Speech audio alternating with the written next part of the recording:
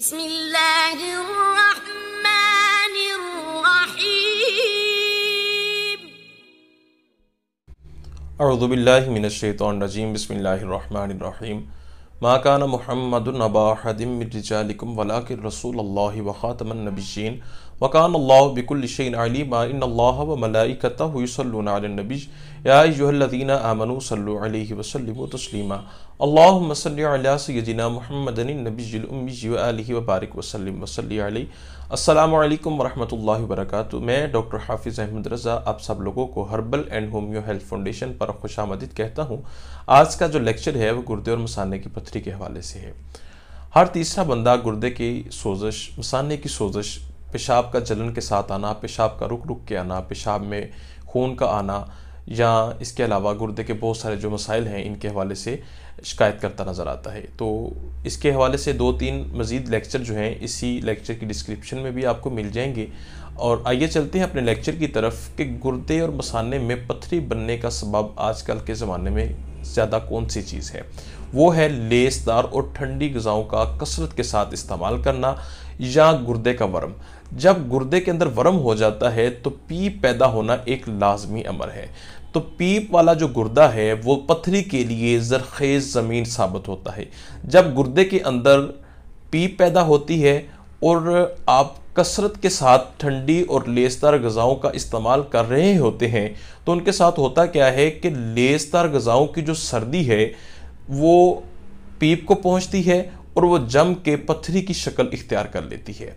या इसके अलावा गुर्दे के अंदर किसी भी मवाद का एक ज़र्रा रुक जाए तो वो बहुत सारे जो और ज़र्रात कई किस्म के मवाद के होते हैं, उनको अपने साथ इकट्ठा करके पथरी की शक्ल इख्तियार कर लेता है। आप इस चीज़ की मिसाल यूँ लगा सकते हैं कि इंसान अगर नहर या समुंदर के अंदर नहा रहा हो तो पाँव के इर्द गिर्द रेत का एक टीला सा बन जाता है। रेत का एक ज़र्रा पाँव के साथ आकर रुकता है और वो बहुत सारे दूसरे जो रेत के ज़र्रात होते हैं, उनको अपने साथ जो है लगाकर एक टीले की शक्ल इख्तियार कर लेता है। इसी तरह गुर्दे के अंदर जो है ना, पत्थरी बनने का अमल वाक़ होता है। इसके अलावा जिगर के अंदर गर्म वर्म हो जाना, इसकी वजह से गुर्दे और जो मसाना होता है, वो कमज़ोर हो जाते हैं। इसी की वजह से फिर वो पत्थरी बनने का सबब बनते हैं। इसके अलावा ट्राइग्लिसराइड भी एक बड़ी वजह है, जिसकी वजह से गुर्दे के अंदर पथरी बनती है। इसके ऊपर एक मैं मुकम्मल लेक्चर जो है इनशाला बहुत जल्द अपलोड कर दूँगा। और एक और लेक्चर अपलोड कर दूँगा, जिसके अंदर जो ठंडी और लेसदार गज़ाएँ हैं, ये कौन कौन सी हैं, जिनसे आप गुर्दे वाले मरीज़ ने परहेज़ करना है। और साथ ही साथ कौन सी चीज़ें जो हैं जो आपने कसरत के साथ इस्तेमाल करनी है, जो कि आपकी पथरी बनने के अमल को रोक सके।